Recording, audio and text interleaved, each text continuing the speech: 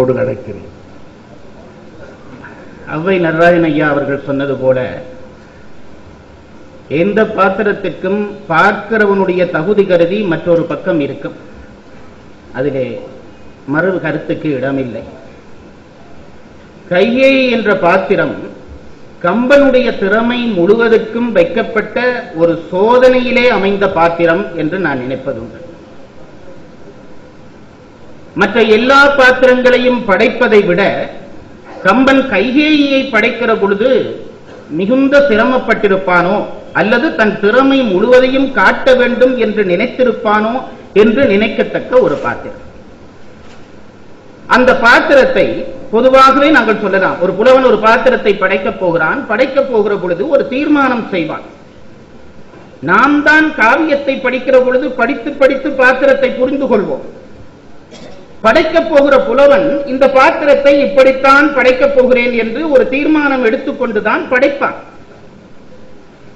அந்த அடிப்படையிலே மற்றைய பாத்திரங்களை எல்லாம் படைக்கிற பொழுது கம்பனுக்கு சிரமம் இருந்திருக்காது. ஏனென்றால் இந்த பாத்திரத்தை இன்ன இயல்புக்கு ஆளாக்கப் போகிறேன் என்று கம்பன் முன்னரே முடிவு செய்து விடுகிறான். இந்த பாத்திரம் ஒரு நல்ல பாத்திரம் அல்லது ஒரு தீய பாத்திரம். இந்த ரெண்டு எல்லைகள். நல்ல பாத்திரம் என்றால் யார் நல்லவன் என்றால் யார் என்றால் நான் எனக்குள்ளே வைத்திருக்கக்கூடிய ஒரு வரையறை. பல பேர் இந்த விஷயத்திலே ஒரு ஏமாற்றம் அடைகிறார்கள். நல்லவன் என்றால் தீமையே இல்லாதவன் என்று பல பேர் பொருள் கொள்கிறார்கள். அது தவறு. தீயவன் என்றால் நல்ல பக்கமே இல்லாத ஒருவன் என்று சில பேர் நினைத்து விடுகிறார்கள். அதுவும் தவறு. யார் நல்லவன் யார் கெட்டவன் என்றால் எவனிடம் தீமையை விட நன்மை மிகுந்திருக்கிறதோ அவன் நல்லவன். எவனிடம் நன்மையை விட தீமை மிகுந்திருக்கிறதோ அவன் கெட்டவன். பல பேர் இதை ஏமாந்து போகிறார்கள். நன்மையினுடைய ஒரு முகம் பார்த்துவிட்டு பல பேர் என்ன நினைக்கிறார்கள்? இவனிடம் தீமையே இல்லை என்று நினைத்து தாங்களும் ஏமாந்து அவனுக்கு அவனை அவனுக்கு பிழையான சூழலை உருவாக்கி கொடுத்து அவனையும் ஏமாற்றுகிறார்கள். இன்றைக்கு நம் நாட்டிலே நடக்கக்கூடிய பெரிய பல விஷயங்களை எல்லாம் இந்த இடத்திலே நீங்கள் நினைத்துக் கொள்ள வேண்டும். நல்லவன் என்றவன் அவனுக்குள்ளேயும் ஒரு துளி தீர்மை ஈர்க்கத்தான் செய்யும். தீயவன் என்பவனுக்குள்ளேயும் ஒரு துளி நன்மை இருக்கத்தான் செய்யும். முற்றாக இந்த ரெண்டு கோடு கீற முடியாது. கம்பன் சில பாத்திரங்களை இதை தீமையை விட நன்மை உயர்த்த வேண்டும் என்று நல்ல பாத்திரங்களை அமைக்கிறான். வேறு சில பாத்திரங்களை இது தீய பாத்திரமாகவே அமைய வேண்டும் என்று நன்மையை கீழே இறக்கி தீமையை உயர்த்தி காட்டி படைக்கிறான். கையேயை படைக்கிற பொழுது மட்டும்தான் கம்பனுக்கு ஒரு பெரிய சங்கடம் வருகிறது. இரண்டையும் சரிசமமாக காட்ட வேண்டிய ஒரு பாத்திரம். நன்மையையும் காட்ட வேண்டும் தீமையையும் இந்த பாத்திரத்திலே காட்ட வேண்டும். இது என்ன சிரமம் என்று கேட்டால் நன்மையை காட்டுகிற பொழுது இவளிடம் தீய அடையாளங்கள் எதுவும் இருக்கக்கூடாது. பிறகு அதே பாத்திரத்தை தீய பாத்திரமாக மாற்றி போடுகிற பொழுது பழைய நன்மை எதுவும் படிக்கிறவனுக்கு ஞாபகம் பெறக்கூடாது ஏன்? இவள் நல்லவள் என்று நினைத்து விட்டால் கையையினுடைய பாத்திரம் பின்னாலே தீயவளாகிற பொழுது அந்த அந்த கதை அம்சத்திலே வீழ்ச்சி ஏற்பட்டுவிடும் இந்த ரெண்டு சமநிலையையும் குழம்பாமல் அமைத்த கம்பன் அமைத்த ஒரு பாத்திரம் தான் கைகேயி என்பது என்னுடைய அபிப்பிராயம். மிக நுட்பமாக அதை செயல்படுத்துகிறான். நன்மை தீமை இரண்டும் கலந்த பாத்திரம். யார் கைகேயி? ஒரு சின்ன சுருக்கம் சொல்லுகிறேன். கதை சொல்வது என் நோக்கம் அல்ல ஆனாலும் அந்த கைகேயை யார் என்று விளங்கப்படுத்த தசரதனுடைய இரண்டாவது மனைவி. இங்கே கூட கம்பன் நான் நினைக்கிறேன் வேண்டுமென்றே வைக்கிறான். பல பேர் ராமாயணம் படிக்கிறவர்களே பல பேர் கைகையை தசரதன் இளைய மனைவி என்றே நினைத்துக் கொண்டிருக்கிறார்கள் ஏனென்றால் பொதுவான ஒரு உலக வழக்கு இருக்கிறது இளைய மனைவியின் பேரில் தான் கணவனுக்கு அதிக பாசம் இருக்கும். இது பற்றி எனக்கு அதிகம் தெரியாது. தெரிந்தவர்கள் அதை ஆமோதித்து தலையாட்டுகிறபடியால் நான் தொடரலாம் என்று நினைக்கிறேன். இளைய மனைவியிடம் அதிக பாசம் இருக்கும் என்பது ஒரு உலகியற்கை தசரதன் கைகேயி மேலே காட்டிய அன்பை வைத்துக் கொண்டே கைகேயி இளைய மனைவி என்று சொல்லுகிறவர்கள் இருக்கிறார்கள். அது தவறு. கம்பனை பொறுத்தளவிலே அவள் இடை இடையிலே வருகிற மனைவி. லக்வனுடைய தாயாகிய சுமித்திரை தான் கடைசி மனைவியாக வருகிறார். இளையான் இளம் தேவி என்று கம்பனே பேசுவார் ஆகவே நடுவிலே நிற்கக்கூடிய இந்த கைகேயி பிள்ளைப்பேறு இல்லாத காரணத்தினாலே தசரதன் பல மனைவியர்களை சில திருமணம் செய்கிறான். முதல் கோசலை பிறகு கைகேயி சுமித்திரை இந்த கையேயிக்கு இருந்த சிறப்பு என்னவென்று கேட்டால் மற்ற இரண்டு பேரும் சிற்றரசனுடைய மனைவியர்கள். கோசலையும் சுமித்திரையும் சிற்றரசனுடைய மனைவியர்கள். கையை மட்டும் பேகைய நாட்டு ஒரு பேரரசனுடைய மகள். நான் எப்பொழுதும் நினைப்பதுண்டு தசரதனுக்கு கைகேயி மேலே இத்துணை ஈர்ப்பு ஏன் பெற வேண்டும்? உலகியற்கை ஒன்று இருக்கிறதே. மூன்றாம் மனைவி வந்தவுடன் எப்படியும் அந்த ஈர்ப்பு குன்று இருக்க வேண்டுமே என்றால் குன்றதற்கு காரணம் தசரதனுடைய அந்த அரச கம்பீரத்தை சமநிலைப்படுத்தக்கூடியவளாக கையை தான் இருந்தான். நான் சொல்லுகிறேன் அந்த குடும்பம் அந்த பாரம்பரியம் அதிலே வந்த அந்த நிமிர்வு கையேயி மேலே ஏற்பட்ட ஈர்ப்பை சுமித்திரையால் கூட மாற்ற முடியவில்லை. இது கையையினுடைய தனித்தகுதி அதை கையை தெரிந்து வைத்திருந்தாள். தான் மற்றைய பட்டத்தரசிகளை விட உயர்ந்தவள் என்கின்ற ஒரு ஆணவ எண்ணம் கையையினுடைய மனதிலே இருந்தது. அதை கம்பன் பல இடங்களிலே மறைமுகமாக சுட்டுகிறார் இதுதான் அந்த குடும்பத்துக்குள்ளே இருந்த கோளாறுக்கு காரணம். தான் தசரதனுடைய விருப்புக்குரியவள் என்ற அந்த அடிப்படையிலே கையை எப்பொழுதும் உறுதியாக இருக்க வேண்டும் என்று நினைத்தாள். அந்த அரண்மனையிலே தனக்கு முதலிடம் என்பது அவருடைய விருப்பாக இருந்தது. இப்ப இந்த பாத்திரத்தை கம்பன் என்ன செய்கிறான்? இடையிலே கொண்டு வந்து அது வரைக்கும் எங்களுக்கு அந்த எண்ணமே வரவில்லை. கையையே அப்படியே அழகா காட்டி கொண்டு போகிறான். கையையை பற்றி படிக்கிற பொழுது அவள் கெட்டவள் என்ற எண்ணம் யாருக்கும் வரவில்லை. ஐயா அவர்களை அறிமுகப்படுத்தினார்கள். தெய்வ கற்பினால் என்று எல்லாம் பேசக்கூடிய அளவுக்கு உயர்த்துகிறான். ஆனால் திடீரென்று இடையிலே வந்து அந்த பாத்திரம் இரண்டாக முறிகிறது தீய பாத்திரமாக மாறுகிறது. தீய பாத்திரமாக மாறுகிற கையை மிக கொடுமையானவளாகிறாள். இங்கே எவ்வளவுக்கு எவ்வளவு மென்மையானவளோ எவ்வளவு எவ்வளவுக்கு தெய்வத்தன்மை கொண்டவளோ அதற்கு நேர் எதிரான மாறுபட்ட ஒரு பாத்திரமாக கம்பன் அவளை கொண்டு வந்து படைத்து காட்டுகிறான். தீயவை யாவிலும் சிறந்த தீயாள் முன்னாலே தெய்வ கற்பினே பின்னாலே தீயவை யாவிலும் சிறந்த தீயாள் என்று சொல்கிற அளவுக்கு முற்று முழுதான மாற்றுடைய ஒரு பாத்திரம். இதிலே கம்பன் செய்கிற நுட்பம் என்னவென்றால் இந்த தீயாளாக இவள் மாறின உடனே நமக்கு சந்தேகம் வருகிறது. அப்படியானால் இவள் முன்வைத்திருந்த அந்த ராமன் மேல் கொண்ட அன்பு முதலியவை எல்லாம் பொய்தானா? அது முற்று முழுக்க பொய்யாக இருந்தால் சூர்பனைக்கும் கையைக்கும் இடையிலே அதிக வித்தியாசம் இருக்காது. தீயலாக மாறிவிட்டால் ஆனால் கம்பன் என்ன சொல்ல நினைக்கிறார் என்றால் இவள் தீயவளாக மாறினாலும் முன்னை இருந்த அவளுடைய நல்லியல்புகள் நல்லியல்புகள் தான். சில பேர் இருக்கிறார்கள் பாருங்கள் நல்லவர்கள் போல தங்களை காட்டிக் கொண்டிருப்பார்கள். சில சந்தர்ப்பத்திலே அவர்களுடைய உண்மை வெளிப்பட்டுவிடும். இப்ப சூர்பனை வந்து தன்னை அறிமுகப்படுத்துகிறாளே தன்னை நல்லவளை போலதான் அறிமுகப்படுத்துகிறாள் கெட்டவளாக மாறி விடுகிறாள் அப்படியானால் அவள் ஒட்டுமொத்த கெட்ட பாத்திரம். ஆனா கையை பொறுத்தளவிலே அப்படி இல்லை. முன்னுக்கு காட்டின அந்த நன்மைகள் எல்லாம் நிஜம் என்கிறான் கம்பன். ராமன் மேல் அவன் கொண்டிருந்த அன்பு நிஜம். அதனால் தான் உனக்கு துன்பம் வந்ததே தூங்குகிறாயா என்று கூணி எழுப்புகிறாள். உணங்குவாய் அல்லை நீ உறங்குவாய் என்று தட்டி எழுப்புகிறாள் கூனி. எழும்பின உடனே கையை சொன்ன வார்த்தை நம் நினை நெஞ்சுக்கு நினைவுக்கு வருகிறது. என்ன சொல்கிறாள்? இராவரும் குவிக்கலாம் வேதமே என்ன இராமனை பயந்த எட்டு இடருண்டோ எப்பொழுதும் ஒரு உண்மை சொல்கிறேன். தூக்கத்திலே எழும்பின உடனே ஒருவரிடம் ஏதாவது கேள்வி கேட்டால் பெரும்பாலும் உண்மை வெளிவந்துவிடும். என்றால் பொய் சொல்ல திட்டமிடுவதற்கு புத்தி தயாராக இருக்காது. இவள் தூக்கத்தாலே எழும்பின உடனே சொல்லுகிற வார்த்தை இராமனை பயந்த எட்டு இடர் உண்டோ? அப்ப அத்தனையும் மெய்.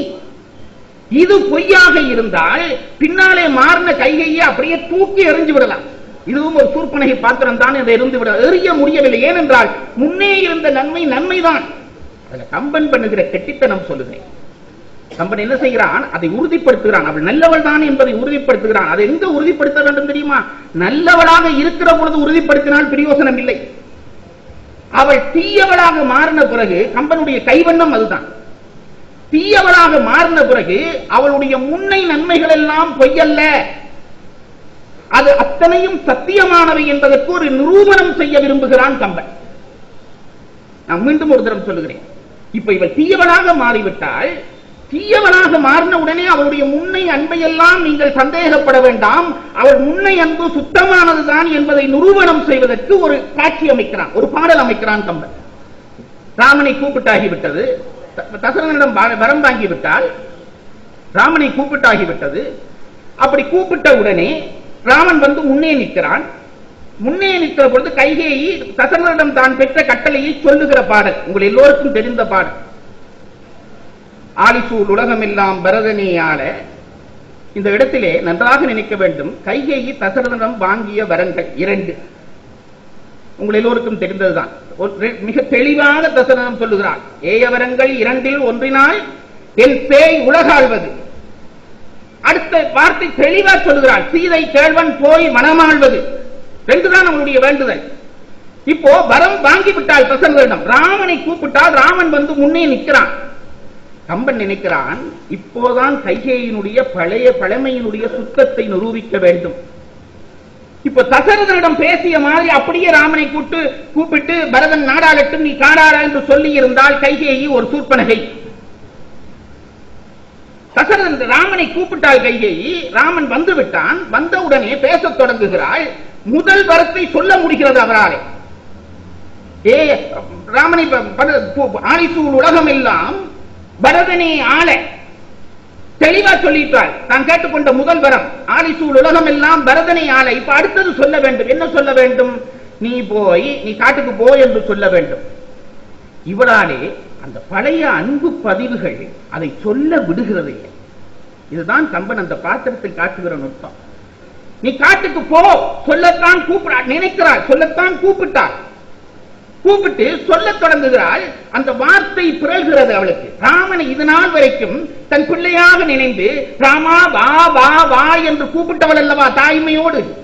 அவளாலே ராமனை காட்டுக்கு போ என்று சொல்ல முடியவில்லை. என்ன செய்கிறாள்? மறல்கிறாள் மயங்குகிறாள் வார்த்தைகள் தடுமாறுகின்றன. என்ன சொல்கிறாள்? ஆனிசூல் உலகம் எல்லாம் பரதனை ஆள நீ போய் சா- தாளிரு சடைகள் தாங்கி. தசரனிடம் கேட்டதில் இதெல்லாம் கிடையவே கிடையாது. தாளிரும் தழைகள் தாங்கி தாங்கரு தவமேற்கொண்டு போடா காட்டுக்கு சொல்ல வேண்டும். சொல்ல நாக்கு விடுவதில்லை இதெல்லாம் சொல்லுகிற சும்மா சும்மா போடுறாள். அஹ், காணன் நன்னி புண்ணிய துறைகளாடி இப்பவும் போ என்று சொல்ல நினைக்கிறால் வருவதில்லை. புண்ணிய துறைகளாண்டி ஏழு இரண்டு ஆண்டில் தசரனுக்கு இந்த வார்த்தை தெரிஞ்சிருந்தால் செத்தே இருக்க மாட்டான் சார்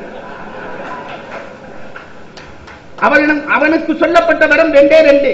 சீதை கால்வன் போய் வனமாள்வது. ரெண்டு அர்த்தம். இவன் போய் வனத்தை ஆளட்டும் வனத்தில் மாளட்டும். அப்படிதான் அவன் நினைச்சுட்டான். இங்கே அந்த ஏழு ரெண்டு ஆண்டு என்ற கால எல்லையை இங்கேதான் கையை கொண்டு வர்றாள். தசரதனுக்கு தெரியாது. பதினாலு ஆண்டிலே ராமன் வருவான் என்றால் அவன் உயிரை பிடித்துக் கொண்டு வாழ்ந்திருப்பான். விஸ்வாமித்திரன் அனுப்பியது போல வாழ்ந்திருப்பான். இவளுக்கு அந்த நேரத்தில் அந்த கால எல்லையெல்லாம் ஏன் அன்பு. போ என்று சொல்ல விடுகிறதில்லை. கூலிவன் காணன் நன்னி புண்ணிய துறைகளாடி அஹ், ஏழு இரண்டு ஆண்டு அந்த போ என்று சொல்ல பழகாத அந்த தாய் நாக்கு வா வா என்று சொல்ல பழகிய தாய் நாக்கு ஏழு இரண்டு ஆண்டில் வா என்று இயம்பினன் அரசன் என்றான். இப்ப என்ன செய்கிறாள் கம்பன்? இவள் முன்னை அன்பு நிஜமானது. பொய்யில்லை காலம் விதி இவளை திரித்து விட்டது. அவ்வளவுதான். இல்லாவிட்டால் சூர்பனையை போல ஒரு ஒரு தீய பாத்திரத்துக்குள்ளே கைகையை அடக்கி விடுவோம். அடக்க முடியவில்லை. பல விஷயம் கைகையில சொல்ல வேணும். ஒரு விஷயம் நான் இன்றைக்கு சொல்ல கொண்டது. மற்ற பக்கங்கள் கைகைக்கு பல பக்கம் உண்டு. இப்ப நான் சொன்னது தீமைக்குள்ளும் அவள் நன்மை தெரிந்த பக்கம். நன்மைக்குள்ளும் தீமை தெரிந்த பக்கம் ஒன்று உண்டு. கைகையை நல்லவளாக அவளை யாரும் சந்தேகப்படாமல் இருக்கிற பொழுதே கம்பன் குறிப்பு காட்டுகிறான். இவள் மற்ற மற்ற மனைவிமாரிடமிருந்து பிரிந்துதான் இருந்தாள். அவளுக்கு அந்த ஆணவம் இருந்தது. மற்ற வட்டத்தரசிகள் அதை தாங்கிக் கொண்டார்கள். பிறகு பிள்ளைகள் பிறந்தன. பிள்ளைகள் அதை தாங்கிக் கொண்டன. ராமனுக்கு தெரியும் கைகையினுடைய உணர்வு. மற்ற பெண்கள் மற்ற மனைவியர்களுக்கிடையே தனக்கு முக்கியத்துவம் வேண்டும் என்று அவள் விரும்புகிறாள் என்பது ராமனுக்கு தெரியும். ஒரு இடம் சொல்லிவிட்டு நான் சொல்ல வந்த விஷயத்தை சொல்லுகிறேன். ஒரு இடம். ராமனுக்கும் சீதைக்கும் திருமணம் முடிந்து விட்டது திருமணமாகி அரண்மனைக்கு வருகிறார்கள். பட்டத்தரசிகள் எல்லாம் நின்று வரவேற்கிறார்கள். அப்படி வரவேற்கிற பொழுது கம்பன் சொல்லுகிற பாடல். வந்து ராமனும் சீதையுமாக வருகிறார்கள் வருகிற பொழுது அந்த ஆசீர்வாதம் வாங்க வேண்டிய பாடல். அதிலே கம்பன் மிக நுட்பம் ஒன்று பண்ணுவான்.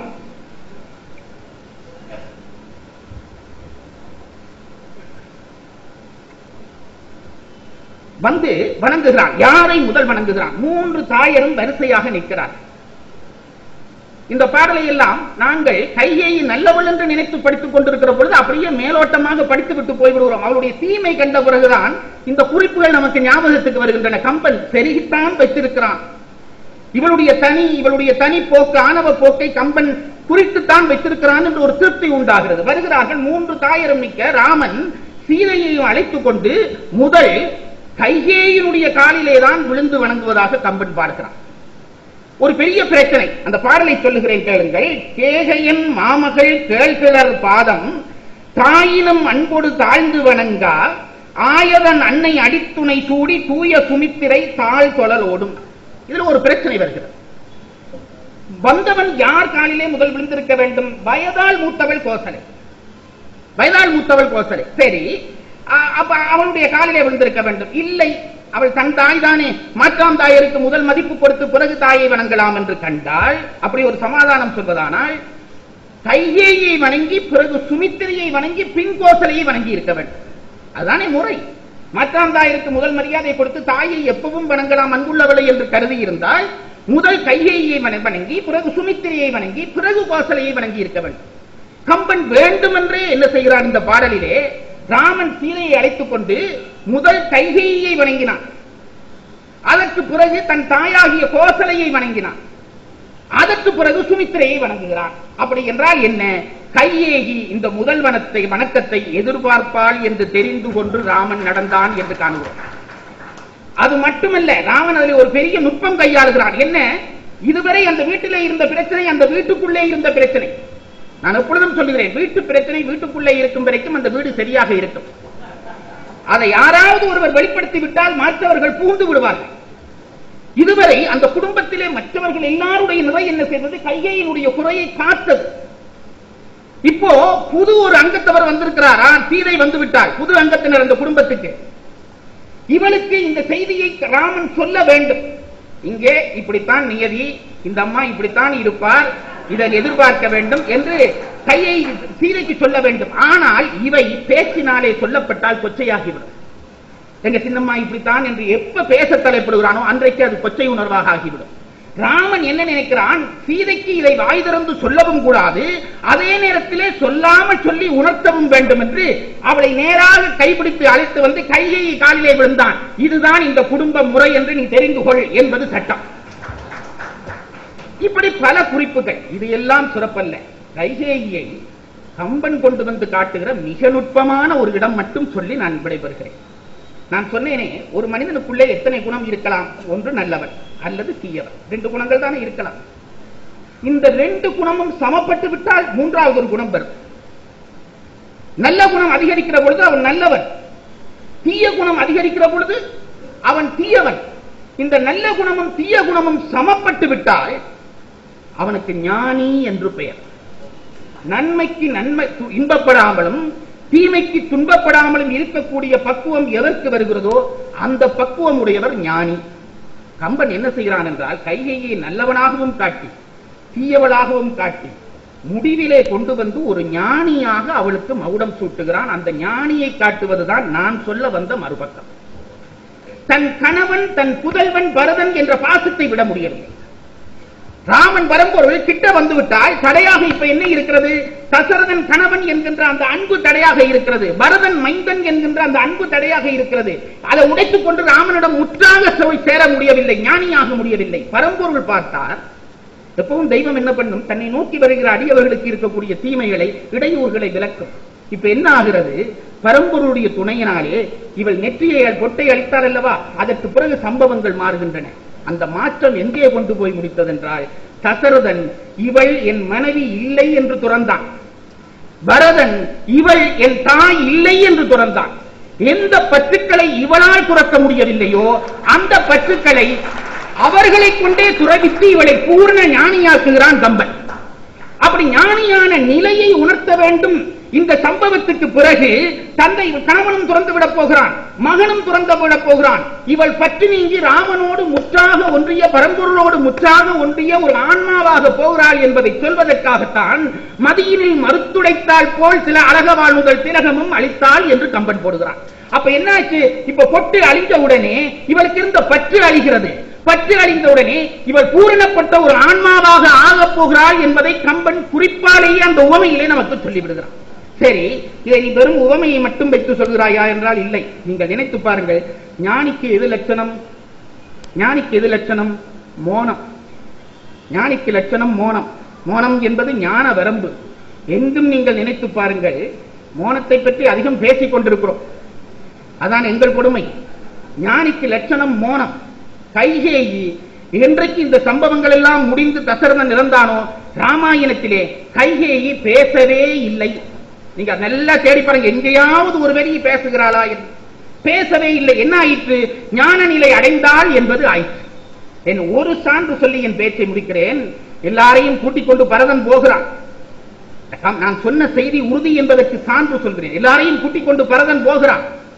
குகனை சந்திக்கிறான். குகனுக்கு எல்லாரையும் அறிமுகம் நிகழ்கிறது. தாயரை அறிமுகம் நிகழ்கிறது. அப்படி நிகழ்கிற பொழுது பரதன் சொல்லுகிற வார்த்தை கம்பன் நமக்கு வந்து இரண்டாவது முத்திரை குத்துகிற இடம். பார்க்கிறான் ஒவ்வொருவரையும் அறிமுகப்படுத்தி கோசலையை அறிமுகப்படுத்தி ஆயிற்று இவள் தான் தசரதனுடைய முதல் தேவி. சுமித்திரை முடிந்தது. அதுக்கு பிறகு இந்த புகப்பயல் சும்மா இருந்திருக்க வேண்டும். இது யார் என்று கேட்டான். ரெண்டுல போனா மூன்றாவது கைகை என்று தெரியாதா? இந்த பரதன் கோபத்தோடு கையை அறிமுகப்படுத்துகிறான். வடரெல்லாம் படைத்தாலே பழிவிளக்கும் செவிலியை. தன் பார்த்த பாவி குடரிலே நெடுங்காலம் கிடந்த எட்டு உடல் உ- உயிர் பாயர் பாரம் குறைந்து தேய. சொல்லி முடிவா சொன்னான் வந்து இடரிலா முகத்தாளை அறிந்திலையேல் இன்னென்றால் என என்றான். ஒரே ஒன்றை நான் உங்களை சிந்திக்க சொல்லி கேட்கிறேன். இந்த இடரில்லா முகத்தாலைக்கு எல்லாரும் சொல்வது ராமன் போனதற்கு எல்லாரும் கவலைப்படுகிறார்கள். இவள் மட்டும் கவலைப்படாமல் நிற்கிறாள் அல்லவா? இவள் தான் என் அம்மா என்று சொன்னான் என்று பொருள் சொல்கிறார்கள். இல்லை.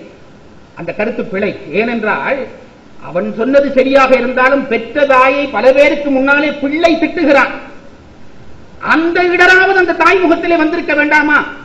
ஒரு ஒரு கோபம் தாபம் ஒன்றுமில்லை. பேசாமல் நிற்கிறாள். இடரிலா முகத்தாளை என்றான். என்றைக்கு இன்ப துன்ப அதிர்வுகளிலிருந்து எவன் நீங்குகிறானோ அவனுக்குத்தான் இடரிலா முகம் வரும். அந்த முகத்தை காட்டி இவன் ஞானியாகி விட்டான் என்பதை கம்பன் காட்டுகிறான். முடிந்த முடிவு. கடைசி போர்க்களம். தசரதன் வந்து நிற்கிறான். இவளை தாயாக்கு என்று கேட்க வேண்டும் ராமன். இவளை தாயாக்கி கொடு என்று கேட்க வேண்டும் ராமன். என்ன வார்த்தை போடுகிறான்? ஒரு நிமிஷம் நினைத்து பாருங்கள். தீயல் என்று நீ துறந்த என் தெய்வமும் இவள் துறவினாலே என் தாய் என்ற நிலைக்கு மேலே தெய்வ நிலை அடைந்து விட்டாள் அந்த துறந்த என்ற சொல்ல அங்கேயும் போடலாம் இங்கேயும் போடலாம். தீயல் என்று துறந்த என் தெய்வமும் துறந்த என் தெய்வம். என்றைக்கோ இவள் பற்றுக்களை எல்லாம் துறந்த என் தெய்வம். என்று ராமனே அவளை தெய்வமாக பேசுகிறான் என்றால் மிக பற்றுக்கு ஆளாகி நான் சொல்லுகிறேன் எப்பொழுதும் எவன் பற்றுக்கு அதிகம் ஆளாகிறானோ அவன் தான் சீக்கிரம் பற்றிலே இருந்து அருவான். பற்றே இல்லை என்று சொல்லுகிறவனுக்கு லேசில் அது வராது. அதனாலேதான் கள்ள புலனைந்தும் காணாம் அணிவிளக்கு என்றார் திருமூலன். எவனுக்கு புலன்களிலே ருசி அதிகமோ அவன் தான் சீக்கிரம் அதில் இருந்து விடுபடுவான். ரொம்ப நன்மை தீமை உணர்ச்சிகளுக்கு மிக ஆளாகி இருந்த கையேகி ஒரு எல்லையிலே அவை அருந்து சமநிலைப்பட்டு மெல்ல மெல்ல ஞானியாக உயர்ந்து தன் பிள்ளை திட்டுகிற திட்டலை கூட கவலைப்படாமல் பேசாமல் இடரிலா முகத்தோடு கேட்கிற முழு ஞானியாகி அதை ராமன் முடிவிலே என் தெய்வம் என்று உறுதி செய்கிற பாத்திரமாக கம்பன் கைகேயை அமைத்ததுதான் அந்த பாத்திரத்தினுடைய ஞான பக்கம் என்பதை சொல்லி இப்படி ஒரு வாய்ப்பளித்தமைக்கு நன்றி கூறி விடைபெறுகிறேன். வணக்கம்.